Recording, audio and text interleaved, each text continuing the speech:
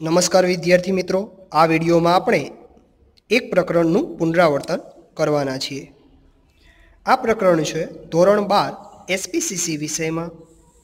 પ્રકરણ નંબર એક જે છે, બેંકને લગતો પત્રવ્યવહાર.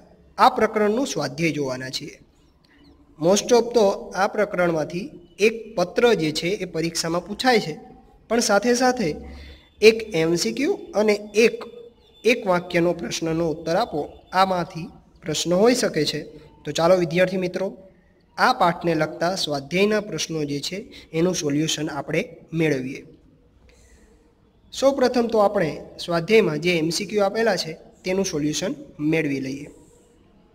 પ્રથમ પ્રશ્ન છે, દેશની તમામ પ્રકારની બેંકને સૂચનાઓ આપવાનું અને નિયંત્રણ રાખવાનું કાર્ય કઈ સંસ્થા કરે છે? તો આપણે જાણીએ છીએ, દરેક પ્રકારની ભારતની બેંક છે. તે માટે માર્ગદર્શિકાઓ નક્કી કરવાનું અને તેનું નિયંત્રણ કરવાનું કાર્ય એ આપણી રિઝર્વ બેંક ઓફ ઇન્ડિયા કરે છે, કે જે ભારતની મધ્યસ્થ બેંક છે. તો જવાબ આવશે B Reserve Bank of India બીજો પ્રશ્ન છે, બેંકમાં લોકર સુવિધા મેળવવા અંગે લખાતા પત્રને કેવા પ્રકારનો પત્ર કહી શકાય? તો આપણે જાણીએ છીએ કે કોઈ પણ સુવિધા બેંકમાંથી મેળવવી હોય છે તો આપણે વિનંતી સ્વરૂપનો પત્ર લખીએ છીએ. એટલે કે આપણે બેંકમાં સુવિધા મેળવવા માટે, કોઈ પણ સેવા મેળવવા માટે બેંકને વિનંતી કરીએ છીએ કે મને આ સુવિધા આપો. તો અહીં પ્રશ્નમાં છે કે બેંકમાં લોકર સુવિધા મેળવવા અંગે લખાતો પત્ર. તો જવાબ આવશે વિનંતી પત્ર. ત્રીજો પ્રશ્ન છે, બેંક સાથેના પત્ર વ્યવહારમાં જ્યારે પણ નાણાંની કોઈ પણ રકમનો ઉલ્લેખ થતો હોય ત્યારે તે કેવી રીતે લખવી જોઈએ? તો આપણે જાણીએ છીએ વિદ્યાર્થી મિત્રો કે બેંક સાથે જ્યારે પત્ર વ્યવહાર કરીએ છીએ ત્યારે નાણાકીય બાબતોનો ઉલ્લેખ થતો હોય ત્યારે ગોપનીયતા જળવાય તે અત્યંત આવશ્યક છે.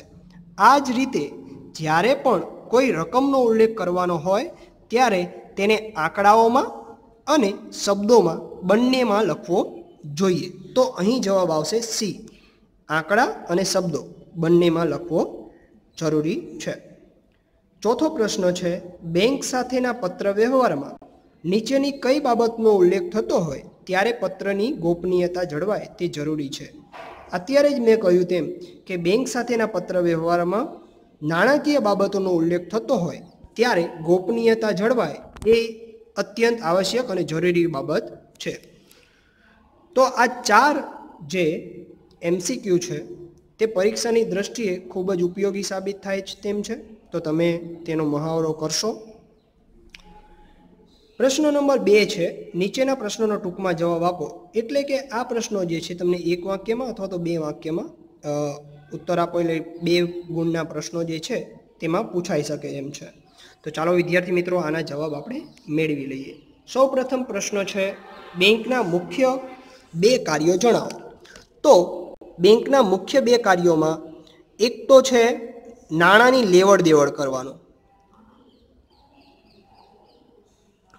અને બીજું જે કાર્ય છે એ ધિરાણ કરવાનું છે.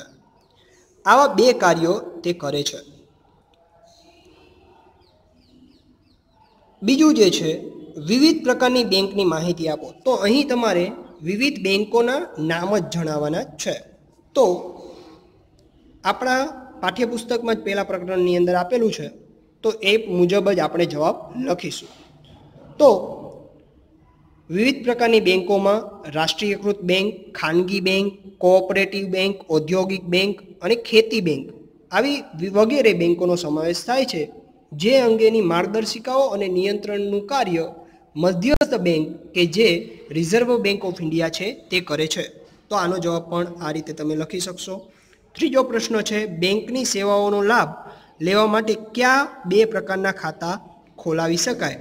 તો આપણે જાણીએ છીએ, તો મોસ્ટ ઓફ આપણે બચત ખાતું, ચાલુ ખાતું, બાંધી મુદતનું ખાતું અને રિકરિંગ પ્રકારના ખાતાથી આપણે પરિચિત છીએ.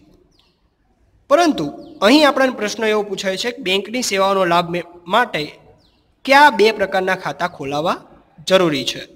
તો અહીં જવાબમાં તમારે લખવાનું છે, બચત ખાતું અને ચાલુ ખાતું ધરાવનાર ગ્રાહકને બેંકની સુવિધાઓનો લાભ મળે છે.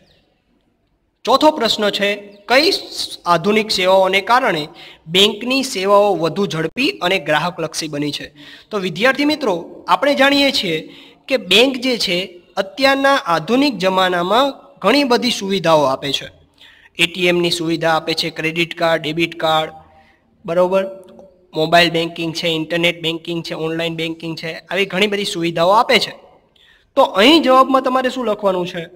તો અહીં તમારે જવાબમાં લખવાનું છે કે ઓનલાઈન અને મોબાઈલ બેન્કિંગની સગવડતાને કારણે આવી આધુનિક સેવાઓને કારણે બેંકની સેવાઓ વધુ ઝડપી અને ગ્રાહકલક્ષી બની છે.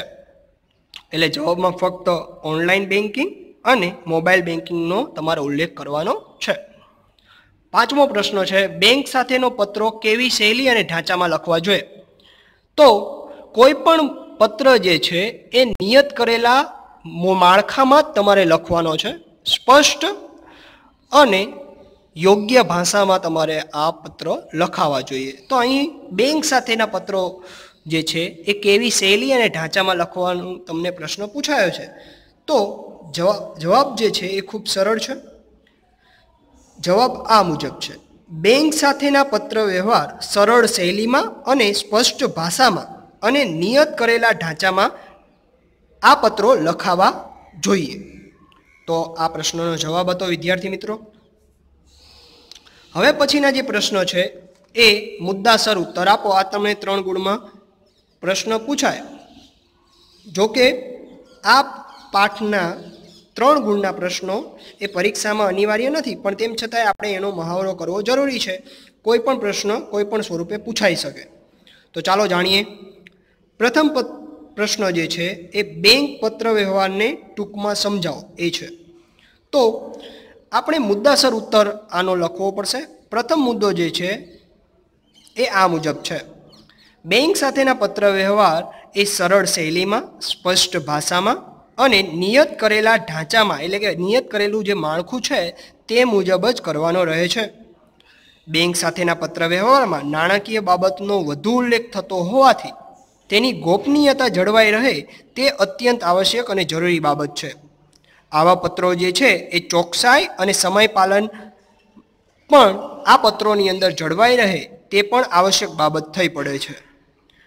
બેંક સાથેના પત્ર વ્યવહારમાં બેન્કિંગ સેવાઓનો લાભ જે છે એ બચત ખાતું અને ચાલુ ખાતા ધારક જે છે આવા ગ્રાહકોને જ એની સેવાઓ મળતી હોવાથી બેન્કિંગ પત્ર વ્યવહારમાં આવા પત્રોમાં ખાતા નંબર અને તેના ખાતાના પ્રકાર એટલે કે એ બચત ખાતું ધરાવે છે કે ચાલુ ખાતું ધરાવે છે તેનો ઉલ્લેખ થવો અત્યંત આવશ્યક છે. આવા પત્રોની અંદર તારીખ લખવી એ જરૂરી બાબત બની જાય છે. આપણે જાણીએ છીએ કે કોઈ પણ પત્ર હોય, તેની અંદર તારીખ એ અત્યંત આવશ્યક છે. જેથી આપણને ખ્યાલ રહે કે આ પત્ર ક્યારે લખાયો છે અને કોઈ ડેડલાઇન આપેલી હોય તો તેની ડેડલાઇન પૂરી થાય તો તે તમે જાણી શકો. આ સાથે બેંક સાથેનો પત્ર વ્યવહારમાં જ્યારે કોઈ નાણાકીય રકમનો ઉલ્લેખ થતો હોય, ત્યારે એ આંકડામાં અને શબ્દોમાં બંને પ્રકારે તેનો ઉલ્લેખ થવો અત્યંત આવશ્યક છે.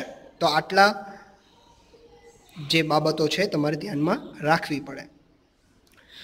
બેંકને લખવામાં આવતો વિનંતી પત્રોમાં કયા પ્રકારના પત્રોનો સમાવેશ કરવામાં આવે છે તેની યાદી આપો. આ બીજો પ્રશ્ન છે. તો તેનો જવાબ આ મુજબ છે.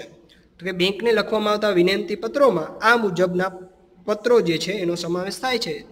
તો સૌ પ્રથમ છે ખાતું ખોલાવવા અંગે વિનંતી પત્ર બીજો છે ચેકના નાણાંની ચૂકવણી અટકાવવા અંગેનો પત્ર. આ ક્યારે લખાશે? તો કે જ્યારે આપણો ચેક જે છે એ ગુમ થયો હોય, ફાટી ગયો અથવા કોઈ અન્ય કારણ હોય, ત્યારે ચેકના નાણાંની ચૂકવણી જે છે અટકાવવા અંગેનો પત્ર લખવો અનિવાર્ય બની જાય છે. પછીનો પત્ર છે બેંક ઓવરડ્રાફ્ટ જે છે એ મેળવવા અંગે વિનંતી પત્ર કોઈ પણ સુવિધા મેળવવી હોય તો આપણે બેંકને વિનંતી પત્ર લખવો જોઈએ. ખાતું બંધ કરાવવાની જાણ કરતો પત્ર, ડીમેટ ખાતું ખોલાવવા અંગેનો પત્ર, શૈક્ષણિક લોન મેળવવા અંગેનો પત્ર, બેંકમાં લોકર સુવિધા મેળવવા અંગેનો પત્ર, debit card, credit card, ATM card વગેરે સુવિધા મેળવવા અંગે જે પત્ર લખાય છે તે વિનંતી પત્ર છે. ત્યાર પછી debit card, ATM card, credit card જે છે એ ગુમ થાય. તો તેની જાણ કરતો પત્ર જે છે એ પણ વિનંતી પત્ર જ કહેવાશે. ત્રીજો પ્રશ્ન જે છે એ બેંકને કઈ બાબતો માટે ફરિયાદ પત્રો લખવામાં આવે છે? તો મોસ્ટ ઓફ આપણે ઘણી બધી બાબતો માટે બેંકને જ્યારે અગવડતા આપણાને ઉપસ્થિત થાય છે ત્યારે આપણે એની ફરિયાદ કરતા હોય છે. તો તે પણ યોગ્ય શૈલીમાં, યોગ્ય ઢાંચામાં અને સામેવાળી વ્યક્તિનું અપમાન ન થાય, તે રીતે આપણે ફરિયાદ પત્ર લખવાના હોય છે. તો આપણા પાઠ્યપુસ્તકની અંદર ત્રણ પ્રકારના ફરિયાદ પત્રનો ઉલ્લેખ છે. તો એક છે, બેંક દ્વારા ચેકને ખોટી રીતે અમાન્ય કર્યો હોય, ત્યારે આપણે ફરિયાદ પત્ર લખીએ છીએ. એટલે કે આપણા ખાતાની અંદર યોગ્ય રકમ છે અને આપણે ચેક લખીએ છીએ. પરંતુ બેંક એમ કહે છે કે આ ચેક જે છે એમાં જેટલી રકમ લખી છે એ પૂરતી નથી એટલે અમાન્ય કર્યો. તો ખોટી રીતે અમાન્ય થયેલો ચેક હોય તો આપણે તેની ફરિયાદ કરી શકીએ. પછી છે બેંક સ્ટેટમેન્ટ માટેમાં એટલે કે બેંક પાસબુક હોય કે કોઈ પણ સ્ટેટમેન્ટ આપણે મેળવીએ છીએ, તો એમાં ભૂલ હોય. સાચકમાં આપણી રકમ તેનાથી વધુ હોય અથવા તો ફેરફાર હોય તો આપણે એને જાણ કરીએ છીએ કે ભાઈ બેંક સ્ટેટમેન્ટ જે છે એમાં થોડી આ ખામી રહી ગયેલ છે. તો એક એના અંગે ફરિયાદ પત્ર લખીએ છીએ અને ત્રીજું જે પત્ર જે છે, જે ફરિયાદ પત્ર જે છે, એ એ છે કે બેંક કર્મચારી દ્વારા આપણી સાથે ગેરવર્તણૂક કરવામાં આવેલી હોય તો આપણે ફરિયાદ કરતો પત્ર લખીએ છીએ. તો આ વિનંતી પત્રો અને ફરિયાદ કરતા પત્રો જે છે, એ આપણે લખીએ તો છે બેંકને, પણ કોને ઉદ્દેશીને લખીશું? તો બેંકમાં આપણે જ્યારે પણ પત્ર વ્યવહાર કરીએ છીએ, ત્યારે બેંક મેનેજરને ઉદ્દેશીને લખીએ છીએ. એટલે આંતરિક સરનામાની અંદર આપણે સૌ પ્રથમ પ્રતિ બેંક મેનેજર શ્રી આવું કરીને જે તે બેંકને પત્ર લખીશું. એ ચાહે વિનંતી પત્ર હોય કે ફરિયાદ કરતો પત્ર હોય. તો આ મુખ્ય પ્રશ્નો હતા. તો વિદ્યાર્થી મિત્રો, આ વીડિયો આપે નિહાળ્યો એ બદલ આપનો ખૂબ ખૂબ આભાર. Thank you